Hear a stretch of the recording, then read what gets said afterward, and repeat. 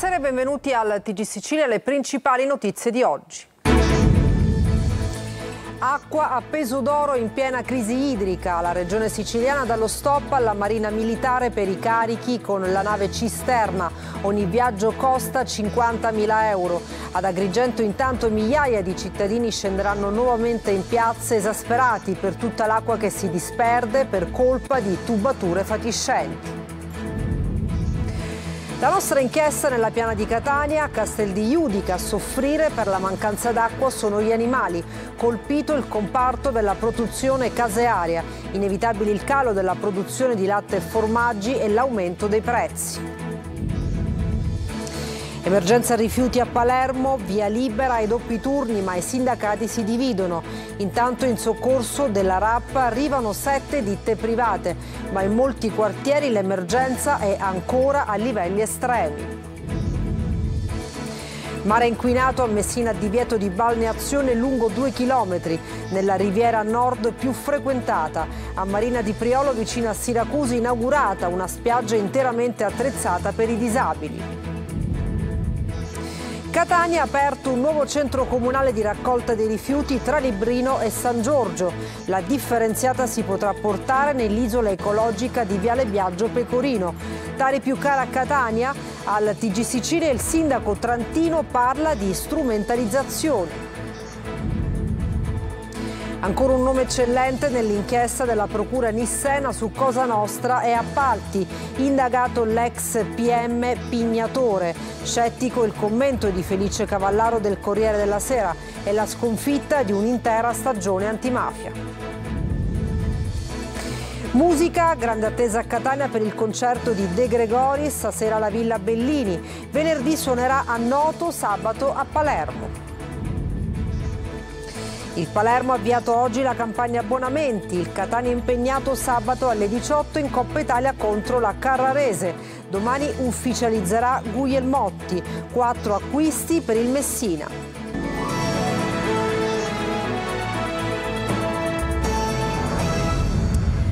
Crisi idrica sono tantissimi comuni alle prese con guasti alle condutture e che cercano di fronteggiare l'emergenza riparando tubi troppo vecchi che fanno disperdere l'acqua.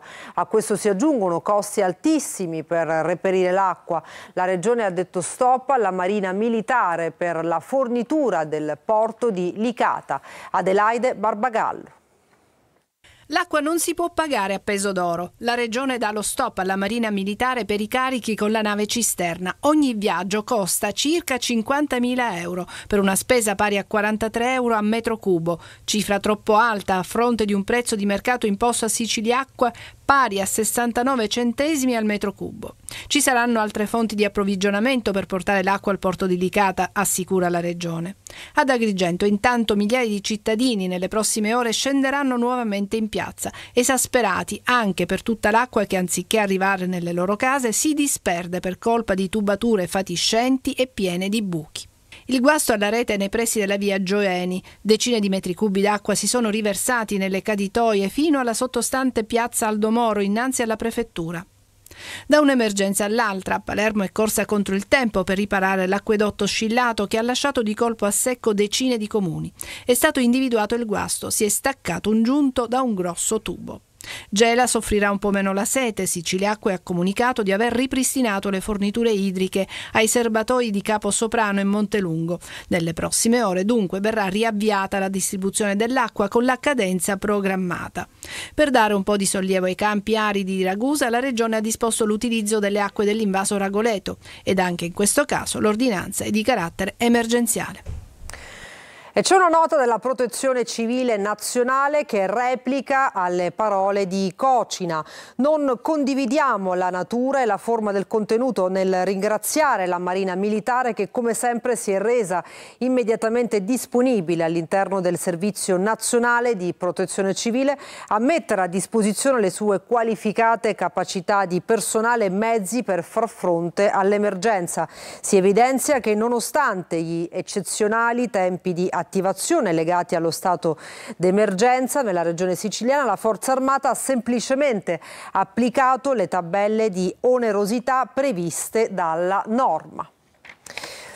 E la crisi idrica non fa sconti neppure nel comparto caseario. Oggi siamo andati a Castel di Iudica, nella zona attorno alla piana di Catania, aziende zootecniche messe in ginocchio dalla mancanza d'acqua. Il rischio è la macellazione forzata del bestiame. L'inchiesta di Orazio Longo. Sembrano volerci dire abbiamo sete. Qui siamo a Castel di Iudica, attorno alla piana di Catania. Dopo gli agrumeti e gli uliveti, ora tocca a loro alzare il grido di dolore. Ennesimo capitolo di una crisi idrica che non risparmia proprio nessuno. E questo è il loro pranzo. Quindi voi mettete la pianta di fico d'India verde, verde estirpata qua e le capre, le pecore, le se, pecore le... se le mangiano, sì, propriamente. E questo è l'unico, l'unico alimento verde che quest'anno hanno mangiato, perché in mancanza di erba l'unico alimento verde.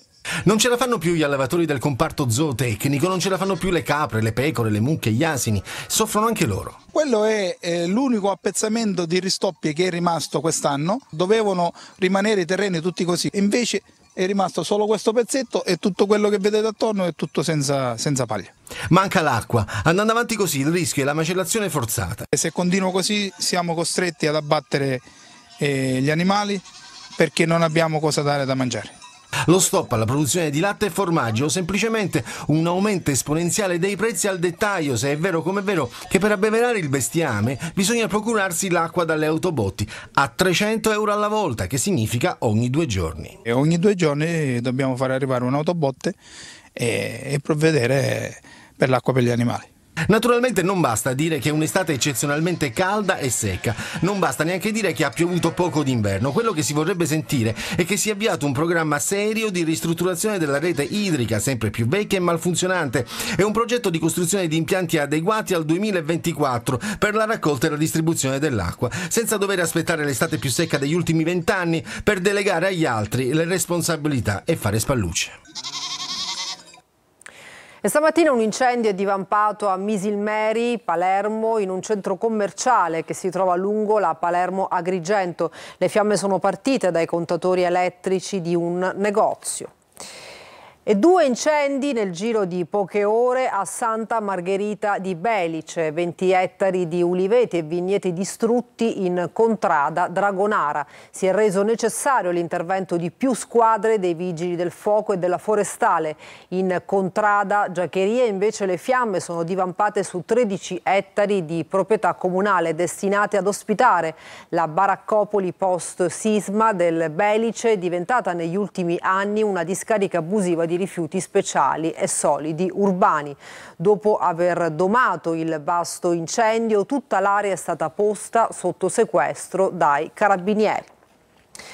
E parliamo dell'emergenza rifiuti a Palermo. I sindacati accettano i doppi turni di raccolta, la CGL è però contraria. Intanto in soccorso della RAP arrivano sette ditte private, ma in molti quartieri l'emergenza è ancora a livelli estremi. Marco Gullà. Nel delicato e surreale puzzle dell'emergenza rifiuti a Palermo un'altra tessera viene inserita, quella dei doppi turni. I sindacati della RAP hanno cambiato nuovamente idea e hanno dato il benestare ai turni in più per i lavoratori che quindi potranno guadagnare di più sfruttando lo straordinario, ma dovranno faticare maggiormente per ripulire la città. In un giorno abbiamo accumulato più di 2000 tonnellate di rifiuti che si aggiungono a quelli ancora da raccogliere, ha detto il presidente della RAP Giuseppe Todaro. Speriamo adesso in una settimana di riportare la situazione alla quasi normalità. La normalità sarà solo possibile nei prossimi mesi, ma tra i sindacati adesso è scontro aperto con la CGL che continua a dirsi contraria ai doppi turni per affrontare l'emergenza e pensare al futuro. Una nota sindacale appunto della CGL è necessaria l'assunzione immediata dei 306 operatori ecologici vincitori del concorso e l'assorbimento di tutti i 46 autisti. E mentre i sindacati litigano, la città, nonostante gli sforzi della RAP e di svariate ditte private, continua a versare in condizioni di grande precarietà. Molti quartieri come Tommaso Natale sono ancora invasi dalla spazzatura e seppur di meno rispetto a qualche giorno fa, continuano anche i roghi di rifiuti. Un'emergenza ancestrale che ormai è consuetudine per la città di Palermo. E per fortuna arrivano anche le belle notizie per Palermo. Nel 2025 il capoluogo siciliano sarà capitale italiana del volontariato. A deciderlo l'Associazione Nazionale dei Centri di Servizio per il Volontariato Italiano. Mare inquinato, a Messina divieto di balneazione su due chilometri di mare nella riviera nord più frequentata ed è di stamane il sequestro di un locale. Francesco Triolo. Due chilometri di mare sulla riviera nord messinese interdetti alla balneazione da una settimana dopo il divieto disposto dal comune a seguito della segnalazione dell'ASP sulla presenza di batteri inquinanti. Il Comune ha inviato la sezione ambientale della Polizia Municipale per le verifiche di controlli e dopo aver ottenuto anche i risultati delle analisi sul tratto di mare interessato, suddiviso in sei microzone, ha individuato la causa. Così questa mattina hanno provveduto al sequestro di una parte di un locale della zona, nello specifico dei bagni e dell'impianto di sollevamento delle acque reflue collegato agli stessi servizi igienici. Dalle verifiche dei tecnici di AMAM e della Polizia Municipale è emerso che la pompa di sollevamento delle acque reflue che avrebbe dovuto condurre gli scarichi verso la condotta fognaria non funzionava e così i liquidi finivano sulla spiaggia. È stato deciso quindi di sequestrare l'area e il verbale verrà trasmesso adesso all'azienda sanitaria che potrà quindi effettuare un nuovo campionamento della zona. Se i risultati dovessero essere nuovamente nella norma, potrà essere revocata l'ordinanza con il divieto di balneazione e quelle spiagge potranno tornare nella piena fruibilità dei messinesi e dei turisti. A Marina di Priolo, vicino a Siracusa, c'è una spiaggia interamente attrezzata per i disabili, nessuna barriera architettonica e tutti al mare. Francesco Aloi. Al mare senza barriere. No, non è uno slogan, ma la realtà. Siamo a Marina di Priolo, a qualche chilometro da Siracusa. Qui il comune ha dedicato un tratto di spiaggia libera ai diversamente abili. Sono ritornato in acqua a fare il bagno autonomamente e con gli operatori che ci assistano in qualsiasi movimento. Facendo un giro notiamo che l'inclusione è veramente di casa. 10 le postazioni attrezzate, ombrelloni, lettini, passerelle e bagni. Tutto è pensato per chi è in sedia a rotelle. L'anno scorso abbiamo fatto una sperimentazione, è andata benissimo e l'abbiamo fatta per un mese. Quest'anno abbiamo raddoppiato due mesi. È un'operazione che abbiamo fatto del tutto gratuitamente. Chi viene qui non è mai solo. C'è infatti un servizio di accoglienza con operatori qualificati. Qui siamo una grande famiglia finalmente. Loro possono venire, possono stare con noi, se vogliono entrare in acqua noi siamo con loro, li aiutiamo possiamo stare con loro pure a parlare, è anche un modo per socializzare. Ma il mare deve essere accessibile sempre, qui come altrove. E secondo gli ultimi dati, sembra che su questo fronte la Sicilia stia facendo passi in avanti. 2014 i numeri erano 10 spiagge accessibili in tutta la Sicilia, siamo arrivati al 2024 con ben 194 spiagge accessibili, di cui 50% pubbliche e 50% private. A Catania è aperta la terza isola ecologica a Librino. Chi conferisce otterrà degli sgravi sulla Tari. Potrebbe risolvere anche il caso degli ingombranti abbandonati. È aperta infatti agli svuotacantine. Giusi Lazzara. Apre Catania la terza isola ecologica. Il centro comunale di raccolta in viale Biagio Pecorino a Librino servirà a tutta la città per conferire diversi tipi di rifiuti, comprese quelle frazioni che non vengono ritirate a domicilio. Così grandi quantità di imballaggi in vetro, plastica, cartone, farmaci scaduti, toner, elettrodomestici e mobili potranno essere smaltiti correttamente. Se per esempio hanno della plastica, devono partire, non possono aspettare la domenica sera per lasciarla, lasciarla fuori casa, possono venire da, a conferire aprire qui ed è anche un'operazione vincente perché poi eh, in questo modo si può avere anche un, uno sgravio della Tari. Un passo in avanti nella dolente raccolta di rifiuti gravata nelle ultime settimane anche dalla cenere vulcanica. Altra questione riguarda l'abbandono di ingombranti ai bordi delle strade. Nei centri comunali di raccolta sarà consentito il, lo scarico da parte anche degli svuotacantine in modo che così non saranno più costretti a lasciare tutto quanto in, nelle strade della città creando quella condizione di degrado nota a tutti. Il nuovo centro di raccolta si aggiunge a quelli di Viaggiani, a Piganello e Viale Tirreno a Trappeto Nord. Altre isole ecologiche sono previste nel piano generale da 5 milioni di euro. A breve apriranno altre strutture quasi già completate in via Montenero, via Forcile e via San Filippo Neri e Vagliasinni, una per ogni municipalità. A Catania è polemica dopo l'approvazione sul documento di bilancio che prevede un possibile aumento della Tari. Non ci sta l'opposizione. Il sindaco Trantino è una strumentalizzazione politica. Aumentano i costi ma non per forza la Tari. Sentiamo. La questione Tari, la tassa sui rifiuti, è al centro delle polemiche interne all'amministrazione comunale di Catania, l'approvazione del documento di assestamento di bilancio che prevede un aumento dei costi per 2,7 milioni di euro nei prossimi due anni proprio per il servizio di gestione dei rifiuti urbani fa salire la tensione all'interno del Consiglio comunale.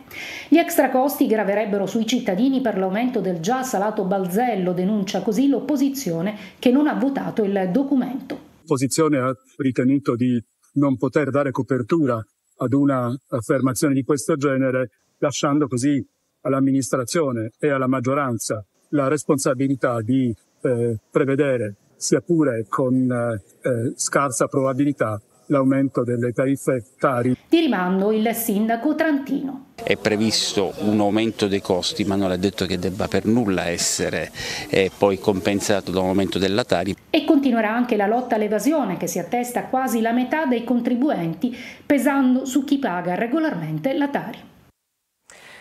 Perché non ti ammazzi così evito di farlo io, ti voglio morta, è il contenuto inviato da un 24enne alla sua ex fidanzata che lo aveva lasciato.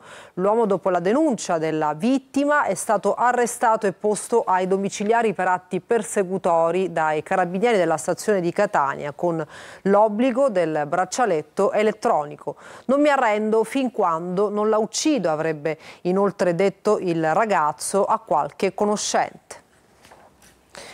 Il Collegio Nazionale dei Proibitivi di Forza Italia ha deciso di congelare con effetto immediato la sospensione di 20 giorni decisa nei confronti dei deputati azzurri Eddi Tamaio e Ottavio Zacco, riservando ogni decisione all'esito dell'istruttoria. Dopo Natoli, un altro nome eccellente nell'inchiesta della Procura Nissena su Cosa Nostra è Appalti, indagato l'ex PM Pignatore, oggi presidente del Tribunale della Città del Vaticano. Scettico il commento di Felice Cavallaro del Corriere della Sera, che segue da anni le indagini contro le cosche. Ascoltiamolo. Siamo alla sconfitta di un'intera stagione dell'antimafia. Eh, indagare eh, è un obbligo, ma temo che le inchieste che si stanno rovesciando su uomini come Gioacchino Natoli e adesso eh, Giuseppe Pignatone siano destinate a, eh, alla prescrizione. Tranne che non si voglia indagare per stragi, eh, omicidi, eh, beh, se si tratta di indagare sulle omissioni o sulle bobine che c'erano o non c'erano, andiamo verso la prescrizione e quindi rischiamo di trovarci con, uno, con le mani piene d'aria. I magistrati di Caltanissetta riusciranno a trovare il bandolo della matassa interrogando Pignatone o Natoli? Già si capisce come vanno le cose appena li interrogano, si avvalgono della facoltà di non rispondere e quindi l'amarezza diventa una gran pena. Il Tribunale di Palermo ha condannato a dieci anni di reclusione per voto di scambio politico mafioso l'ex deputato di Forza Italia Salvatore Ferrigno. Secondo l'accusa l'esponente politico alle elezioni del 2022 avrebbe accettato la promessa del mafioso di Carini Giuseppe Loduca di procurargli i voti in cambio di soldi. Stessa condanna, dieci anni di reclusione ciascuno è stata comminata a Loduca e Loiaco. Ha cercato di impedire ai familiari di un paziente di entrare nell'area di emergenza come previsto dal regolamento. Per questo una guardia giurata in servizio al pronto soccorso dell'ospedale Cervello di Palermo è stata aggredita. E sempre a Palermo i ladri sono entrati nel reparto di radioterapia dell'ospedale civico e hanno svaligiato gli armadietti dei dipendenti. E cambiamo argomento, un cantautore amato da tutti, dagli adulti ai più giovani, Francesco De Gregori, inizia dalla Villa Bellini il suo tour siciliano. Francesco Aloi. E con le mani amore, per le mani ti prenderò. Ha fatto cantare ed emozionare generazioni di italiani e lo fa tutt'oggi. Sempre per sempre Chi lo definisce principe, chi poeta. Sì, perché le sue non sono semplici canzoni ritmate, ma delle vere e proprie poesie, che non si fermano ad una stagione, ma durano una vita intera. Generale, dietro la collina ci sta la notte cruca e assassina. La sua generale è una delle più amate. Provate a canticchiarla ad un ragazzo, quasi sicuramente si unirà. Una breve pausa, tra poco parliamo di sport, non mancate.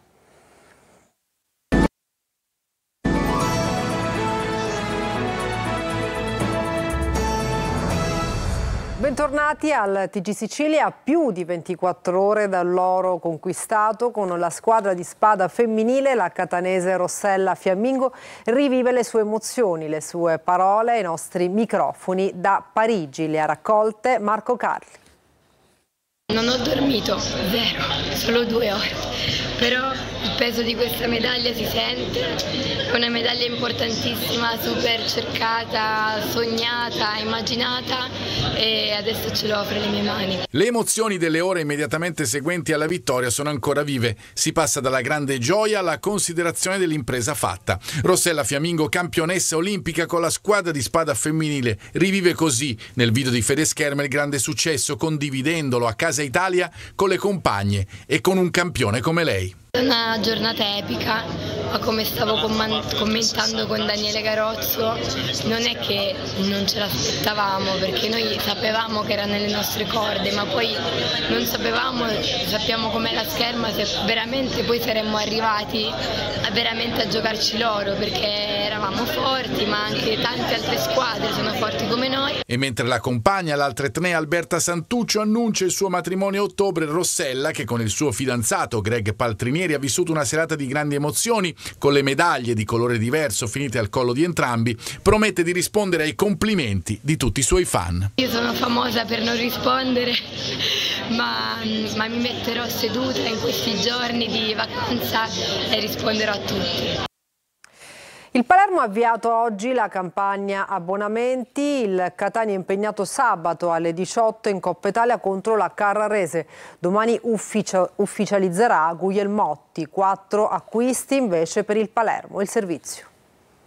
Mentre il Palermo ha aperto la vendita libera della campagna abbonamenti con l'obiettivo di superare le 12.603 tessere sottoscritte nella scorsa stagione, il direttore sportivo De Sanctis lavora per il completamento dell'organico. Con la Juve c'è un dialogo su tre nomi, Nicolussi Caviglia che però vorrebbe rimanere in A, Barbieri e Asa. Per Apua invece l'inserimento di Barley e Young Boys potrebbe essere significativo in termini economici e cambiare la destinazione destinazione dell'esterno francese all'alba delle visite mediche. A queste ultime si è sottoposto in giornata con esito positivo il neo-rossazzurro Davide Guglielmotti, laterale destro di 30 anni del Lecco, con un passato tra Reggiana 60 presenze e 8 reti e Renate 80 gare e 11 gol. Il suo arrivo, prossimo ad essere ufficializzato, potrebbe aprire alla partenza di Bois. Sabato esordio del Catania in Coppa Italia a Chiavari contro la Carrarese. Sembra tornare tornare d'attualità la trattativa con Ciccio De Rose,